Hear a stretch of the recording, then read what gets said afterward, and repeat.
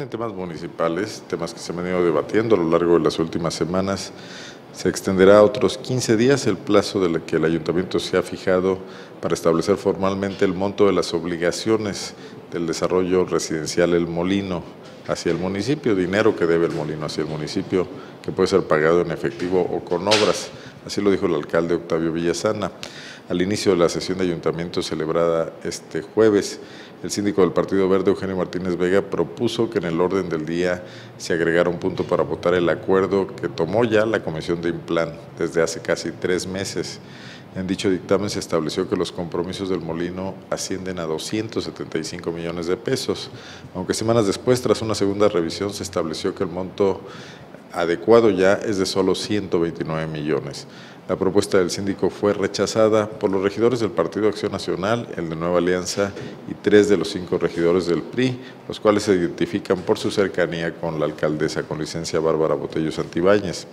Al término de la sesión, el síndico Eugenio Martínez explicó que la intención de subir este tema al cabildo era para respaldar a los funcionarios que en esta misma semana estuvieron trabajando con los representantes del molino pero que al final decidieron no firmar la minuta de dicha reunión. Los representantes del Molino no la firmaron.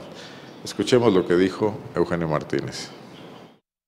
A final de cuentas, hoy lo quise subir al ayuntamiento por mostrar respeto a los funcionarios que trabajan en esta administración y que el día de ayer recibieron una cachetada este, por parte del molino dejando la minuta sin firmar.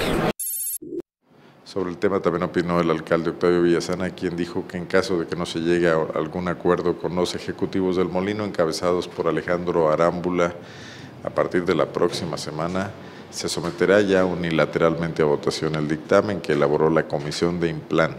Esto fue lo que precisó el alcalde.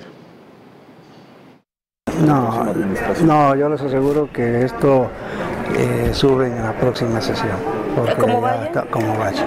Digo, eh, ya tiene, ha tenido las, las opciones, ya se han tenido las reuniones. El síndico me estaba informando ahorita que quedan dos cuestiones todavía ahí eh, pendientes que deberán de resolverse la semana próxima, pero esto sube la, la siguiente reunión porque si no, sí, eh, es estarle dando demasiadas largas.